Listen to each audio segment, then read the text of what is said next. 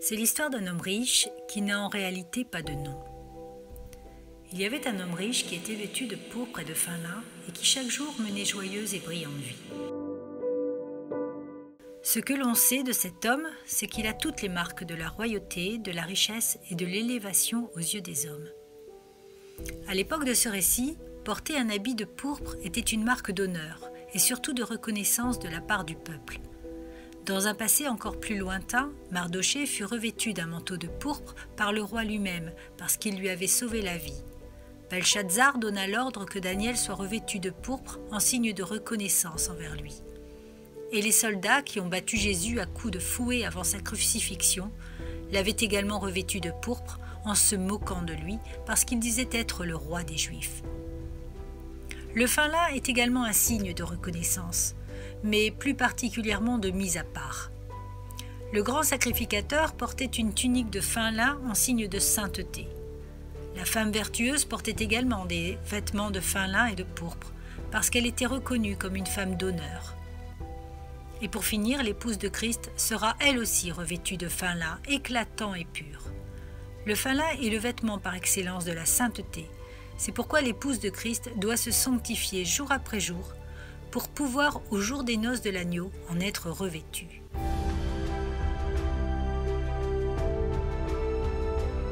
Nous n'avons aucun détail sur la vie de cet homme riche. Ce que nous savons, c'est qu'il est riche matériellement et qu'il est apparemment important aux yeux de ceux qui l'entourent. Mais cependant, ce qui est surprenant, c'est qu'il ne porte aucun nom devant Dieu. Était-il un homme bon ou mauvais Nous ne savons pas. Tout ce que nous savons sur lui, c'est qu'il était reconnu, qu'il avait une grande place dans la société, qu'il jouissait de tous ses biens et qu'il ne manquait de rien. Son vêtement de pourpre et de fin lin nous laisserait presque penser qu'il était un sacrificateur ou un lévite, en tous les cas un homme religieux, reconnu par sa position dans le temple. Mais dans cette histoire, il y a aussi un homme pauvre, et que pourtant lui, malgré sa misère, porte un nom.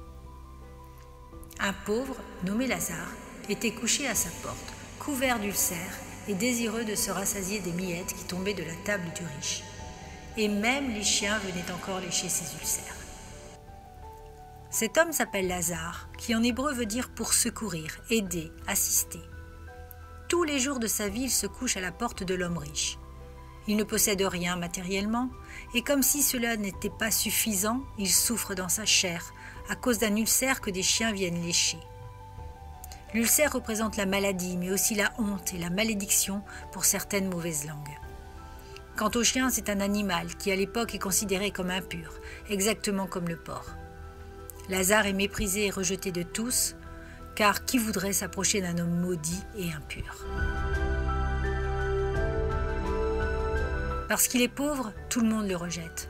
De par sa condition, il est forcément sale, n'a aucun endroit pour dormir, et sa seule subsistance sont les restes de nourriture que l'homme riche daigne lui donner. L'un a tout, la reconnaissance, les honneurs et la richesse matérielle, et l'autre n'a rien. Il est seul et rejeté de tous. Mais un jour, les deux hommes vont mourir, car la mort ne fait aucune différence entre un riche et un pauvre. Que l'on soit dans la gloire et l'opulence ou que l'on vive dans la pauvreté extrême, subissant le rejet des autres, le sort final est le même pour tous. Nul ne peut arrêter l'horloge du temps et le jugement de Dieu. J'imagine que les funérailles de l'homme riche devaient être grandioses, avec les plus grands honneurs et un énorme cortège pour le mener jusqu'à sa tombe. Inutile de s'apesantir sur la mort du pauvre Lazare. Quelqu'un a-t-il même remarqué qu'il était mort? Quelqu'un a-t-il versé une seule larme pour lui? Cependant, il y a l'envers du décor, celui qui est céleste, où souvent tout bascule. Et c'est le cas pour ces deux personnages. L'un est emmené par les anges dans un lieu merveilleux, et l'autre se retrouve dans le séjour des morts, un lieu d'angoisse et de tourment éternel. Mais qu'est-ce qui peut bien amener un homme à se retrouver dans un lieu aussi terrible que l'enfer? À notre grande surprise, c'est l'homme riche qui va être conduit directement dans ce lieu de ténèbres. lui qui vivait dans l'opulence sur la terre va se retrouver sans rien, démuni de tout et accablé par la honte et le tourment. Pourquoi donc? Toutes les questions il peut se les poser, mais à présent il est trop tard. Il ne peut plus revenir en arrière. Il ne peut plus se repentir. Il ne peut plus espérer autre chose que ce lieu où il sera tourmenté pour l'éternité. Ses honneurs et sa réputation ont disparu. Il est seul face à son miroir. Alors il va crier vers Abraham pour lui demander de lui envoyer Lazare afin qu'il le rafraîchisse. C'est terrible pour cet homme, car il voit celui qu'il considère comme son père, Abraham, et ne peut pas s'en approcher. Le texte en hébreu dit Havi, qui veut dire mon père. Le grec traduit père, mais l'hébreu insiste sur le fait que le riche considère Abraham comme son père, comme celui qui est son modèle, sa référence. Tous les juifs religieux considéraient et considèrent encore Abraham comme leur père. Mais Jésus leur a dit qu'il ne servait à rien de dire cela s'ils ne s'étaient pas repentis d'abord. Produisez donc des fruits dignes de la repentance, et ne vous mettez pas à dire en vous-même Nous avons Abraham pour père, car je vous déclare que de ces pierres, Dieu peut susciter des enfants à Abraham. Et plus tard, il leur dira Si vous étiez enfant d'Abraham, vous feriez les œuvres d'Abraham. En plus de ne pouvoir approcher Abraham, il aperçoit Lazare à côté de celui qu'il considère comme son père. Quelle n'est pas sa surprise Lazare se trouve dans le sein d'Abraham, c'est-à-dire dans son cœur, il fait partie de ses entrailles, pendant que lui est en train de souffrir terriblement. Comment se fait-il que lui qui a servi dans le temple et parlé de Dieu durant toute sa vie se trouve dans cet endroit, alors que Lazare, qui n'était qu'un pauvre misérable et qui n'intéressait personne, est près du Père des Nations, dans le repos et la tranquillité? La situation s'est totalement renversée. Il ne comprend rien. Il doit certainement penser que c'est une erreur et que Lazare lui doit bien de venir le secourir vu les miettes qu'il lui a données pendant sa vie sur terre. Mais Lazare ne peut plus communiquer avec lui. Un fossé les sépare à jamais. Même avec la meilleure volonté du monde, cela lui serait impossible. Alors Abraham va expliquer à cet homme pourquoi il récolte une sentence aussi tragique. Sentence pour lui, mais aussi pour tous ceux qui suivent le même chemin. Cet homme avait beau croire en Dieu, son cœur était en fin de compte attaché aux choses de la terre. Il mettait sa gloire dans sa réputation, dans ce qu'il possédait, et ne vivait pas pour Dieu. Son attachement n'était pas simplement les choses matérielles, mais aussi sa renommée, sa propre personne, ses intérêts personnels, son bien-être, en bref son moi, sa chair. Plus tard, Paul enseignera que tous ceux qui vivent en se conformant à leur nature propre ne peuvent pas plaire à Dieu. Mais certains chrétiens légers vont penser que même si ce qu'ils font ne plaît pas à Dieu, son amour surpassera sa justice, et que par conséquent il finira quand même par leur pardonner. Mais Paul insistera par une parole très forte. Si vous vivez par la chair, vous mourrez. Vivre par la chair comme l'homme riche l'a fait durant sa vie n'apporte que des désillusions. On peut croire en Dieu, on peut reconnaître Jésus comme sauveur, on peut même le servir, faire de belles œuvres en son nom, et cependant ne pas vivre pour lui. De plus, tous ceux qui aiment le monde n'hériteront pas du royaume des cieux parce qu'ils sont ennemis de Dieu. N'aimez point le monde, ni les choses qui sont dans le monde. Si quelqu'un aime le monde, l'amour du Père n'est point en lui. Car tout ce qui est dans le monde, la convoitise de la chair, la convoitise des yeux et l'orgueil de la vie, ne vient point du Père, mais vient du monde. L'homme riche représente ceux qui ne sont pas forcément riches matériellement, mais ceux qui jouissent de tous les plaisirs de la terre et qui ne veulent pas s'en séparer. C'est un homme qui prend soin de sa réputation, qui aime être reconnu partout où il va et pour ce qu'il fait. Il veut se faire un nom et profiter de tous les bienfaits que la vie ici-bas peut lui accorder. Ses regards ne se portent pas sur les choses d'en haut. Elles sont bien trop éloignées pour lui, trop confuses, trop irréelles. Il croit en Dieu et en une vie meilleure après, mais il préfère vivre l'instant présent et profiter au maximum des jouissances que le monde peut lui offrir. Sa phrase fétiche est On n'a qu'une vie, alors profitons-en.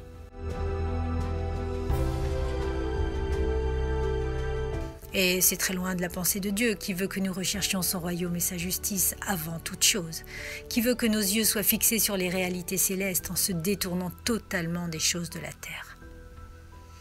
Affectionnez-vous aux choses d'en haut et non à celles qui sont sur la terre, car vous êtes morts et votre vie est cachée avec Christ en Dieu. Quand Christ, votre vie, paraîtra, alors vous paraîtrez aussi avec lui dans la gloire.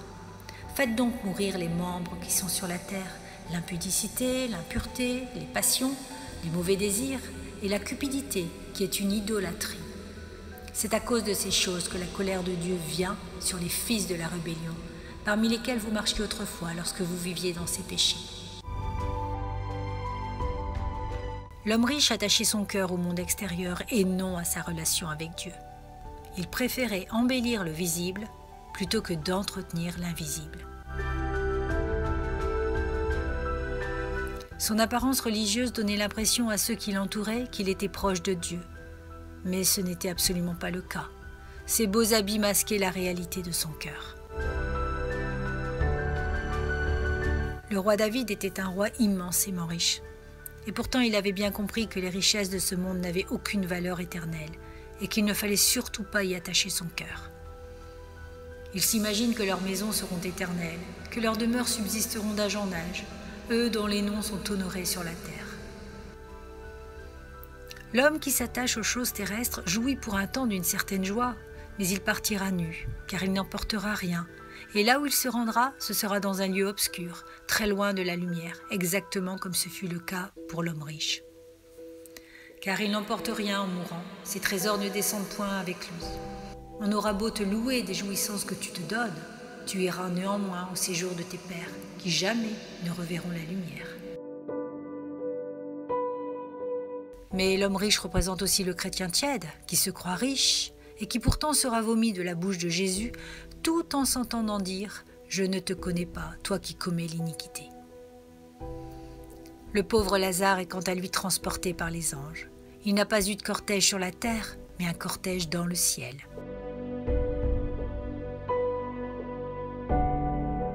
Les hommes ont mené le riche dans un tombeau, dans les profondeurs de l'abîme, et les anges ont élevé le pauvre dans le ciel, dans la lumière éternelle. Ils viennent le chercher et l'emportent dans un lieu merveilleux, dans un lieu de repos où il n'y a plus ni grincement de dents, ni douleur, ni pleurs, ni angoisse. Un lieu où il pourra se délecter éternellement de la présence de Dieu. Lazare est un homme pauvre, mais il a un nom, parce que Dieu l'a reconnu. Il est inscrit dans le livre de vie. C'est un homme qui a une identité dans les lieux célestes, même s'il est rejeté des hommes sur la terre. Mais bien au-delà de sa pauvreté matérielle, Lazare se sent pauvre spirituellement.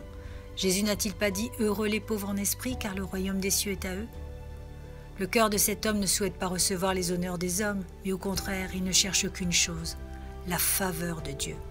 Il reconnaît son état de pécheur et porte les fruits de la repentance chaque jour de sa vie. Sentez votre misère, soyez dans le deuil et dans les larmes, que votre rire se change en deuil et votre joie en tristesse. Humiliez-vous devant le Seigneur et il vous élèvera. C'est un homme humble qui ne veut pas être élevé par les hommes parce qu'il sait de quoi il est fait et attend que seul Dieu le reconnaisse. Car quiconque s'élève sera abaissé et celui qui s'abaisse sera élevé. Lazare a beaucoup souffert dans sa vie, que ce soit dans son corps et dans son âme. Il a été rejeté, maltraité, délaissé, abandonné. Combien de fois n'a-t-il pas crié à Dieu pour qu'il le délivre de cette injustice et de ses oppresseurs? Et le temps de la délivrance est arrivé. Il est enfin dans la joie et la paix parfaite près de son Seigneur. Il a désiré ce grand jour durant toute sa vie terrestre, et bien que les autres se moquaient de lui, il savait que ce jour serait glorieux. Jésus a averti ses disciples que tous ceux qui le suivraient vivraient des tribulations et que si lui a souffert, il souffrirait aussi. Je vous ai dit ces choses afin que vous ayez la paix en moi. Vous aurez des tribulations dans le monde, mais prenez courage, j'ai vaincu le monde. Paul et les apôtres ont vécu des choses extrêmement difficiles, mais jamais ils n'ont abandonné, jamais ils n'ont fait machine arrière. Paul a d'ailleurs dit que les enfants de Dieu étaient ceux qui acceptent de souffrir pour Christ, Or, si nous sommes enfants, nous sommes aussi héritiers, héritiers de Dieu et qu'héritiers de Christ, si toutefois nous souffrons avec lui, afin d'être glorifiés avec lui. La vie d'un authentique chrétien n'est pas simple, car elle est parsemée de luttes et de combats. Mais ce sont toutes ces épreuves qui lui prouvent en même temps qu'il est sur le bon chemin. Jésus n'a jamais promis que ce serait facile, mais il a promis d'être toujours avec ceux qui le suivent. Lazare avait le Seigneur dans son cœur. Il n'était jamais seul, malgré ce que les autres pouvaient en penser.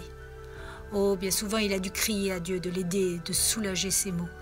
Et Dieu a toujours entendu ses prières et y a répondu d'une certaine manière. L'avenir d'un homme n'est pas terrestre, mais bien céleste. Et si nous voyons les choses d'un point de vue éternel, nous comprendrons davantage la volonté de Dieu pour nos vies. Nous ne nous arrêterons pas uniquement au visible, mais aurons cette espérance qu'un jour nous demeurerons enfin dans sa présence éternellement. Lazare a souffert quelques dizaines d'années, mais il vivra dans la gloire pour l'éternité. Quant à l'homme riche, il a joui de la gloire pendant quelques dizaines d'années, mais il vivra l'éternité dans l'angoisse et le tourment. Il est important de bien réfléchir à son éternité ici-bas. Ne pensez-vous pas? Personne ne voudrait se retrouver dans un lieu comme celui-là. C'est pourquoi l'homme riche voudrait que Lazare aille prévenir ses frères du danger qu'il court s'il continue à vivre de la même manière. Mais à quoi cela servirait-il? De son vivant, Lazare n'a jamais été entendu. Qui l'écouterait s'il revenait sur la terre? Personne. Les hommes se moqueraient de lui. Pire encore, ils refuseraient de croire qu'il est mort et revenu simplement pour les avertir. Et Abraham lui dit, s'ils n'écoutent pas Moïse et les prophètes, ils ne se laisseront pas persuader quand même quelqu'un des morts ressusciterait. Cette histoire est un avertissement pour ceux qui ne prennent pas la parole au sérieux. Tout ce qui est écrit dans la parole est véritable. Toutes les prophéties se sont accomplies jusque-là, et celles qui doivent encore s'accomplir ne vont plus tarder. Dieu nous a donné un livre divin, sa parole. Il nous a tout dit à travers elle, et si nous l'écoutons et lui obéissons, nous serons à l'abri, mais si nous n'en faisons qu'à notre tête, nous serons perdus à tout jamais, et il n'y aura pas une seconde chance. Et comme il est réservé aux hommes de mourir une seule fois, après quoi vient le jugement. Les excuses de tout genre ne serviront à rien. C'est pourquoi il est temps de s'examiner pour voir si nous sommes vraiment dans la foi, si nous sommes tout simplement prêts à rencontrer notre Seigneur. Il est temps de mettre sa vie en règle, car bientôt, et ça peut être demain, il sera trop tard. Tout a été écrit pour notre instruction, tout est là sous nos yeux afin que nous pratiquions la justice de Dieu et que nous obéissions à ses commandements. Nous sommes avertis et personne, absolument personne ne pourra dire ⁇ je ne savais pas ⁇ Les signes et les miracles ne manquent pas, et de tout temps les incrédules ont refusé d'y croire. Le Fils de Dieu est venu lui-même en chair sur la terre, et les hommes l'ont méprisé, rejeté, puis crucifié. Les prophètes ont tenté pendant des siècles d'avertir le peuple du jugement terrible qui allait venir, mais rien n'y a fait. Leur cœur s'endurcissait de plus en plus. Aujourd'hui, les hommes sont de plus en plus fermés et ne cherchent plus que leur intérêt personnel. Tout est centré sur eux et la vérité leur est insupportable à entendre. Jésus adresse cette histoire à des religieux juifs et aujourd'hui, cette histoire s'adresse à tous ceux qui vont à l'Église, à tous ceux qui confessent Christ, mais qui pourtant ne vivent pas selon ses commandements. Il y a beaucoup de chrétiens qui un jour ont fait une belle confession de foi et ont commencé un parcours avec Jésus, mais ils ne sont pas allés plus loin parce que c'était trop difficile. Et puis il y a ceux qui continuent à le suivre, qui remplissent dimanche après dimanche les bancs de nos assemblées. Ce sont nos frères, et pourtant ils ne marchent pas dans l'obéissance et n'ont pas l'amour dans leur cœur. Ce sont des religieux hypocrites, comme Jésus les appelle, qui prennent soin de l'extérieur, mais leur intérieur n'est pas bon. Ils ne lisent pour ainsi dire jamais la parole de Dieu parce qu'elle ne les intéresse pas. La parole renferme tous les trésors merveilleux qu'un homme puisse connaître, et pourtant si peu en ont conscience. Jésus a averti que ceux qui le suivraient devraient d'abord renoncer à eux-mêmes et porter leur croix. Combien refusent ce qu'il a dit? Combien veulent paraître beaux et grands devant les autres? Mais Dieu connaît leur cœur et nul ne peut lui cacher ce qu'il renferme. Ne soyons pas riches à nos propres yeux. C'est la pire des conditions humaines. Recherchons l'humilité qui est d'un grand prix devant Dieu. Ne cherchons pas l'élévation des hommes ni les richesses de cette terre, elles n'apporteront tôt ou tard que désillusion et une grande désolation. Seuls ceux qui ont l'amour de la vérité dans leur cœur hériteront du royaume de Dieu. Sans repentance, nul ne verra le Seigneur. Vous êtes-vous repenti de vos péchés? L'avez-vous fait une seule fois ou continuez-vous à le faire régulièrement? La repentance est la clé pour entrer dans le royaume, mais elle est aussi la clé pour y demeurer. C'est pourquoi le vrai chrétien ne se repent pas une seule fois, c'est devenu son style de vie. La sanctification l'amène à se repentir jour après jour, parce qu'il veut plaire à son Dieu, parce que plus la lumière pénètre dans son cœur, plus il le purifie au moyen de la repentance. L'humilité précède la gloire et l'orgueil précède la ruine. L'orgueil et l'amour du monde conduiront inévitablement dans le séjour des morts, tandis que l'humilité et la recherche des choses d'en haut offriront le salut éternel.